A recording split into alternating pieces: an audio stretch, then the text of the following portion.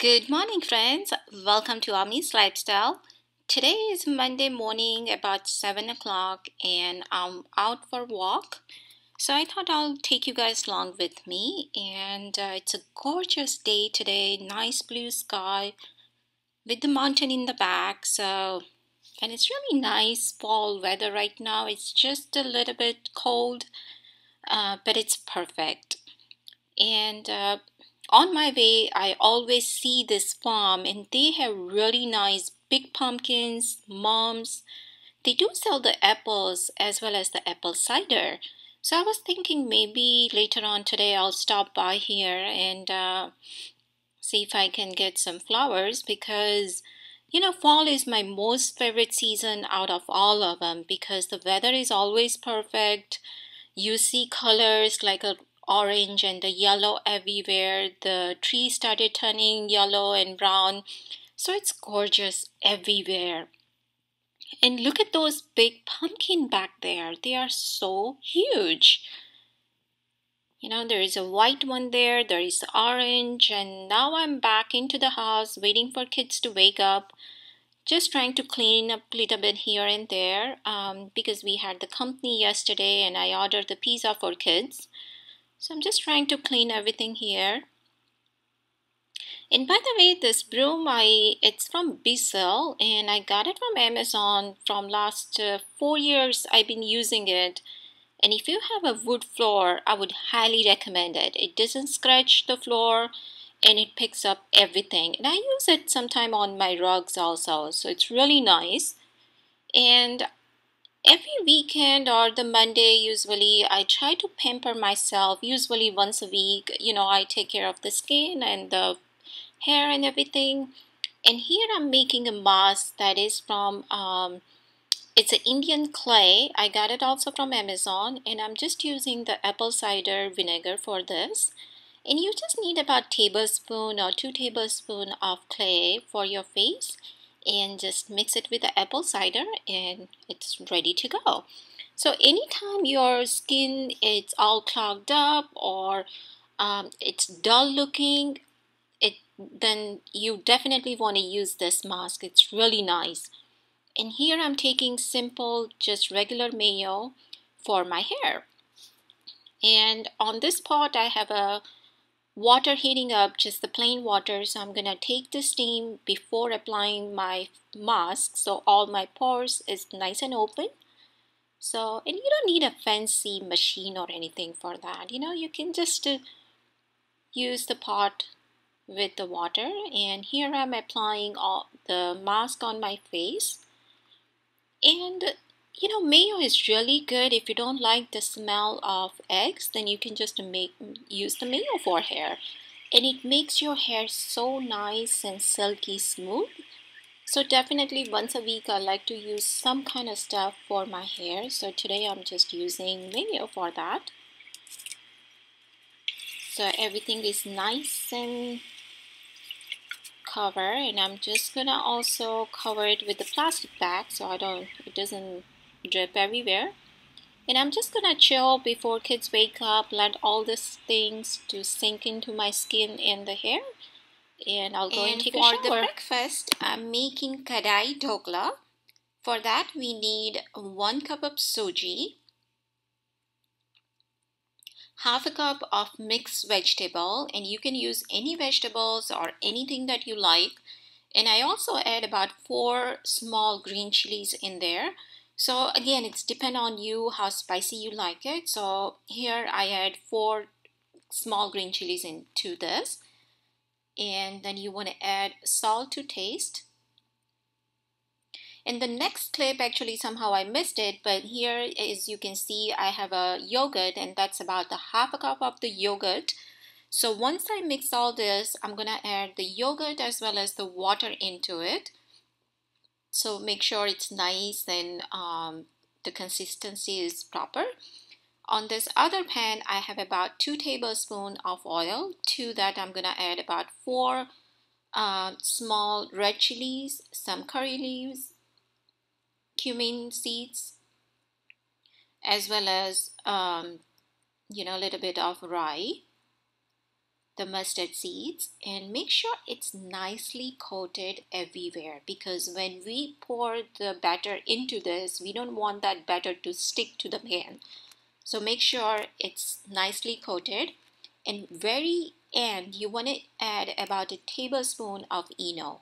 Again make sure you add this at the very last stage when you are ready to pour the batter into the pan and mix it really really well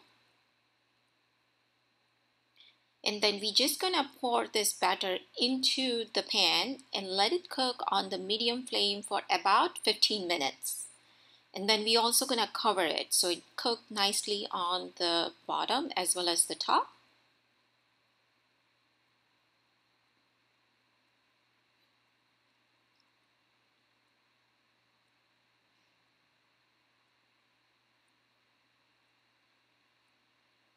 And about after 15 minutes, you want to flip this. And again, you want to be very careful when you are doing this step because the plate is hot. And as you can see, after 15 minutes, it's well cooked on the other side. And now gently, I'm going to put this back into the pan so it can cook the other side. And now we don't need to cover it. Um, it can cook uh, for another 10 minutes again on the medium low flame and um, once it's done it's gonna look so nice so yummy so tasty. So i would highly highly recommend friends do try this recipe. It doesn't take more time to make this and it's so and before we head out it started raining so we thought we'll just have a lunch and then we'll go out. Um, because by the way it's a long weekend um, that's why kids are at home but um, this morning, you know, the weather was nice and clear, and now all of a sudden it started raining. And seems like this bird is also enjoying because he's been sitting there from last 10 minutes and looks like he's just eating the seeds from there. And I like this kind of weather. You know, some people don't like the rain, rainy and the the cloudy weather, but I just love it. I the the noise of the water, the smell of the rain, I just, I'm not complaining as long as there is no snow out there. So I like this kind of weather, you know, it's cloudy and it's nice. So in this weather, I thought it could be perfect if I can just go ahead and make the kadhi pakoda as well as rice. So here I have about cup of besan, chickpeas flour, to that, I'm adding salt to taste, and I already add half a teaspoon of turmeric powder as well as half a teaspoon red chili powder and about half a teaspoon uh, green chilies. Again, green chilies, it's up to you. If you don't like spicy, you don't need to add that to it. But I like the chili flavor into the pakoda, so that's why I'm adding there. And also I like the onion in my pakoda. So I have about half a cup of onion there. And to that, I'm going to add about a tablespoon of oil. And you just want to mix everything, make sure it's well combined, um, well coated with the oil. And to that, I'm going to add about a cup of water, make sure it's nice, batter consistency and you want to let this rest for about 10 minutes. And today actually I'm making the healthy version of it. So I'm, I'm trying um, to make the pakoda into the panyadam pan and I believe that's what it's called. Um, but I bought this pan from India. So it's basically healthy version you know you are not deep frying here and you will not believe friends they came out so good if you are eating this and then you cannot even tell that I didn't deep fry it. So definitely I'm just gonna make the pakoda next time into this pan. And every time for some kind of occasion or some, somebody's coming or something, you know, I always make the rice uh, with a little bit of lemon or lime juice as well as clarified butter, ghee the reason you want to do that is because when you add the ghee, first of all, it gives the nice aroma to it. Plus, it makes your grains separated, so it's not sticky.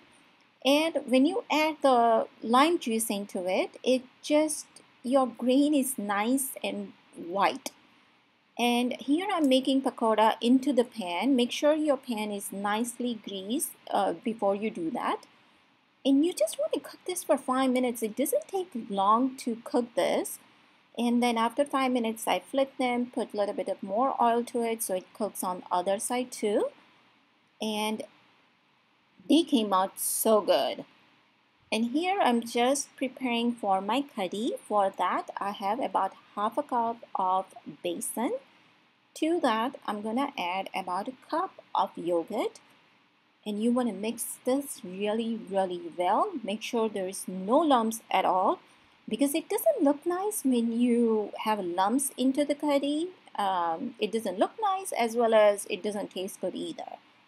Um, so you want to make sure it's nicely well combined and I'm just going to add water into this. And after water again I'm going to use the blender to make sure no lumps at all. Lumps. And I always put some kind of napkins or something underneath so as you see here I made a mess but it's okay because my counters still stay clean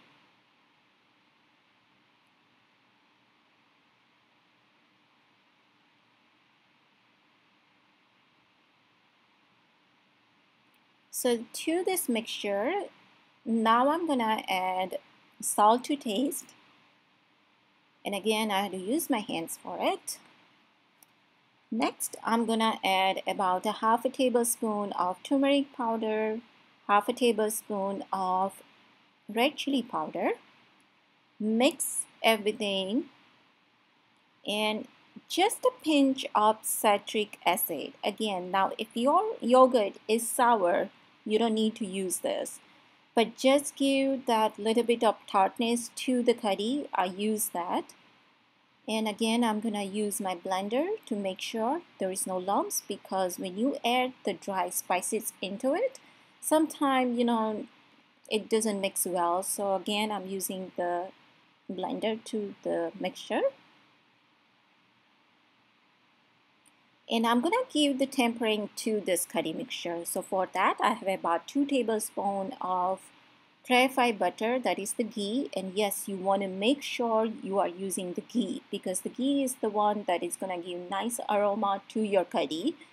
To that I'm adding about a tablespoon of cumin seeds few of the curry leaves and about two red chilies.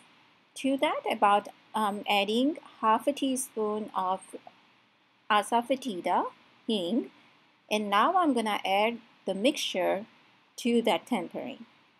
And now we're gonna let this cook for at least 15 minutes but in between every few minutes you want to come and make sure you are keep stirring this mixture otherwise it's gonna stick to the bottom which we don't want that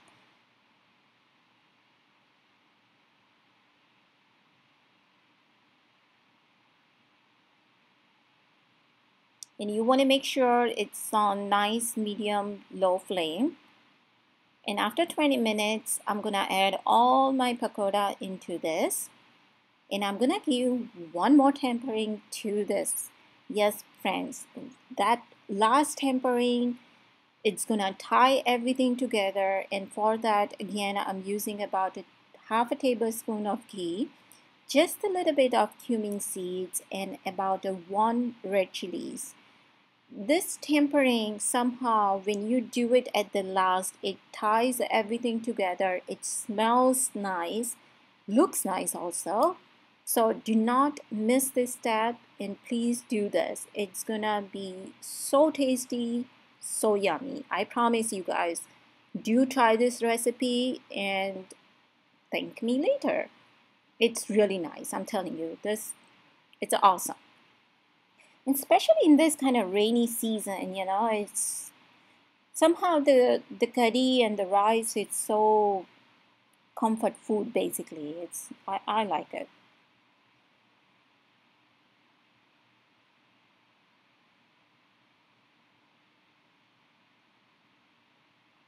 So that's it. Now we're gonna leave this for another five minutes and uh, in that five minutes pakoda is gonna soak that curry and this is how it's gonna look like.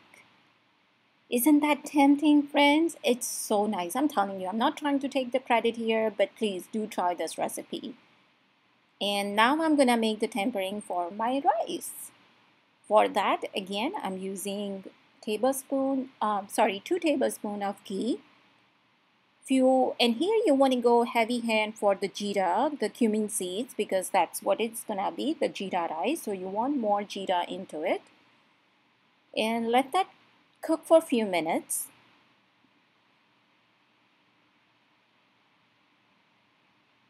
It's something about the the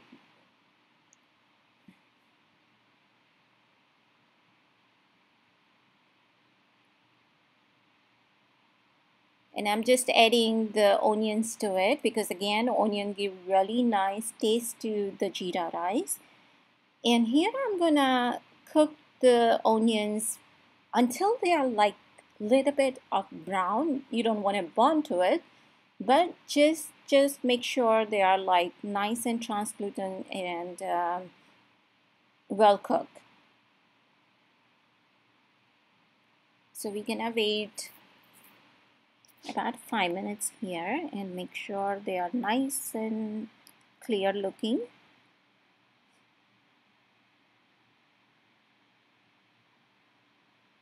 And definitely you can also serve just a regular rice with this you know you don't need to make the jeera rice but again this jeera rice you can make it with the dal fry or the any kind of dal you know it's it's it's so nice into that. I'm adding coriander. It's gonna give nice color to our rice. Cilantro as some of you know that it's cilantro. I'm just gonna mix everything and now I'm gonna add all this mixture to the rice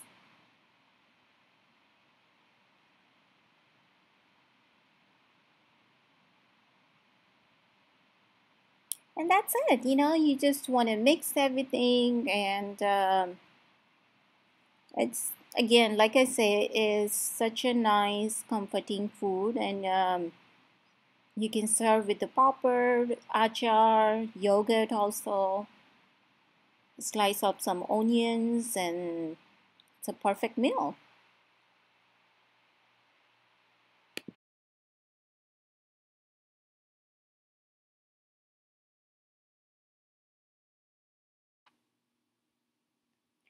So that's how the jeera likes looks like. Isn't that tempting, friends? It's so yummy.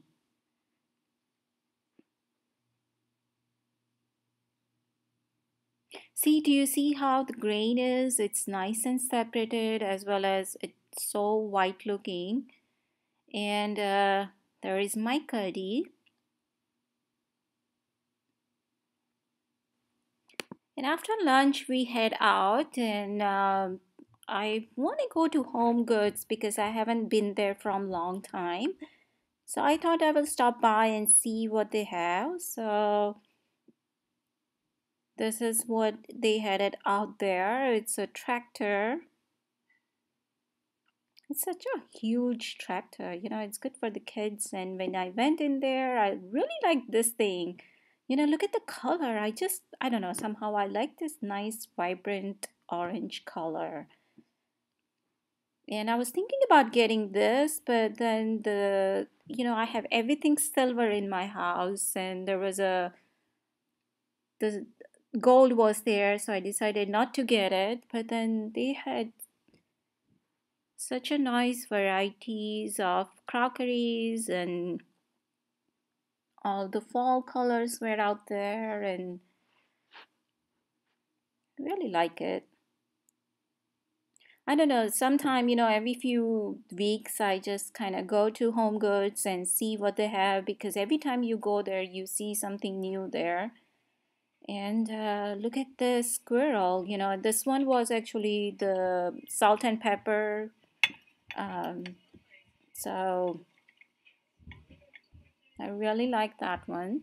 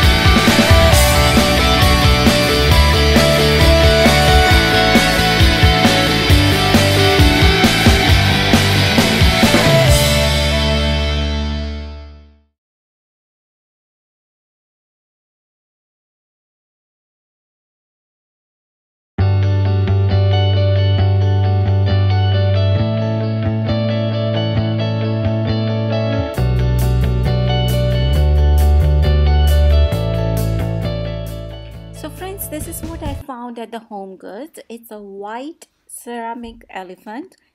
And they also had the one in the blue, so I couldn't decide whether I want to keep the white or the blue.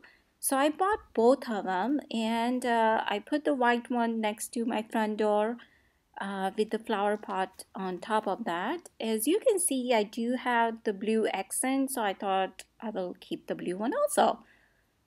So friends, thank you so much for hanging out with me and I'll see you in my next vlog. Bye.